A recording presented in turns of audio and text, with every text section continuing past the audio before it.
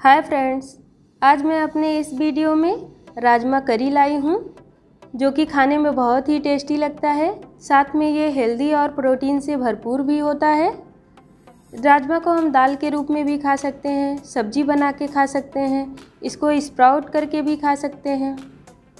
आइए देखते हैं इसको बनाते कैसे हैं। हमने यहाँ पर ओवरनाइट भीगा हुआ राजमा ले लिया था। दो मीडियम साइज़ टमाटर। दो कप के लगभग हमने यहाँ पानी ले लिया है। दो रफली चॉप प्याज है, एक हरी मिर्च, एक इंच अदरक, सात से आठ कली लहसुन के। सारे खड़े मसाले हैं जो बेसिक से हमारे घर में अक्सर पाए ही जाते हैं। जैसे काली मिर्च है, दालचीनी स्टिक है, दो लौंग है, एक बड़ी इलायची, एक छोटी इलायची, थोड़ा सा जीरा है, तेज़पत्ता है। यहाँ पर बॉल में हमने दांगड़ के फूल, जिसे पत्थर के फूल या छबीला भी कहते हैं, ले लिया है। पोस्ता दाना है थोड़ा सा जायफल है और जावित्री भी है। इन सभी को एक साथ करके हम ग्राइंड कर लेंगे। ये देखिए।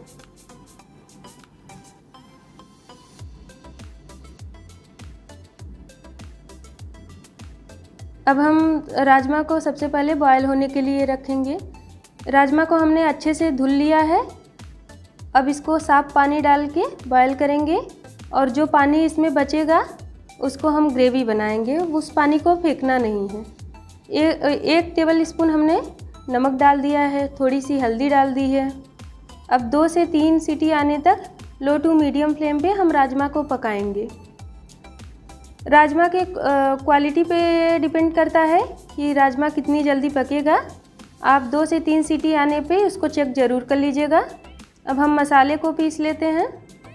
यहाँ पर हम ग्राइंडर जार में सभी मसालों को डाल देंगे, जिसको हमने प्लेट में आपको दिखाया था। ये देखिए। अब इसका एक फाइन पेस्ट हम बना लेंगे।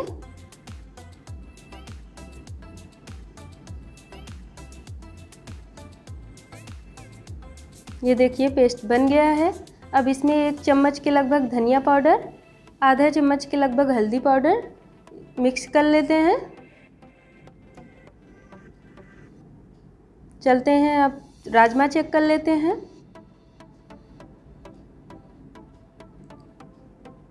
राजमा को हमने तीन सीटी तक पकाया है। तीन सीटी आ चुकी है, अब गैस का फ्लेम बंद कर देंगे और प्रेशर निकलने तक वेट कर लेते हैं थोड़ा।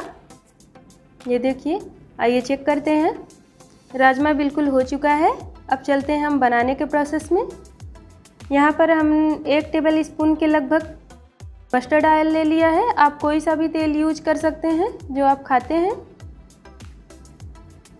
तेल गर्म हो जाने पे इसमें हम थोड़ा सा जीरा, एक तेज पत्ता एक साबुत लाल मिर्च और एक पिंच के लगभग हींग डालेंगे।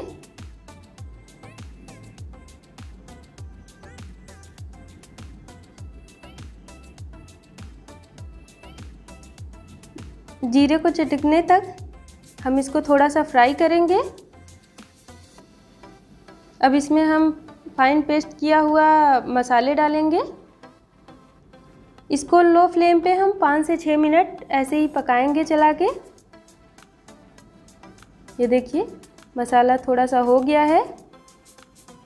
अब इसमें हम टमाटर डाल देते हैं और साथ में थोड़ा सा नमक भी डाल देंगे। नमक अभी हम पूरा नहीं डाल रहे हैं, थोड़ा सा ही डाल रहे हैं। नमक डालने से टमाटर और मसाले अच्छे से पक जाएँगे। थोड़ी देर के लिए इसको ढक देते हैं, टमाटर गलने तक। ये देखिए, टमाटर गल गया है। अब इसमें हम काश्मीरी लाल मिर्च आधा चम्मच डाल देंगे।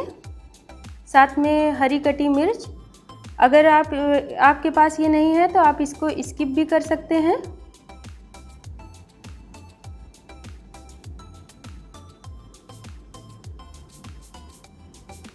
ये देखिए, थोड़ी देर के लिए इसको ढक के पका लेते हैं। अब इसमें राजमा ऐड करेंगे और साथ में राजमे का पानी भी डाल देंगे। इससे ग्रेवी बहुत अच्छी बनती है। अब इसमें थोड़ा सा गरम मसाला ऐड करेंगे। इससे इसका फ्लेवर बहुत अच्छा आएगा। ये देखिए, अब थोड़ी देर के लिए हम इसको ढक के पका लेंगे। मसाले और टमाटर को डालने तक में हमने 10 से 11 मिनट तक का टाइम लिया है मसालों को पकाने के लिए। अब ग्रेवी लगाने के बाद हम इसको 5 से 6 minute low to medium flame पे पकाएँगे। ये देखिए, ग्रेवी पक चुकी है। अब गैस बंद करके हम इसमें धनिया डाल देंगे। आइए, अब इसको सर्विंग बाउल में निकाल लेते हैं। राजमा बिल्कुल तैयार है। ये देखिए कितना अच्छा इसका कलर आया है। ये खाने में भी बहुत टेस्टी लगेगा। फ्रेंड्स, अगर ये रेसिपी मेरी आपको पसंद आए तो आप मेरे वीडियो को लाइक करिए, चैनल को सब्सक्राइब करिएगा और कमेंट बॉक्स में हमको कमेंट करके ज़रूर बताइएगा।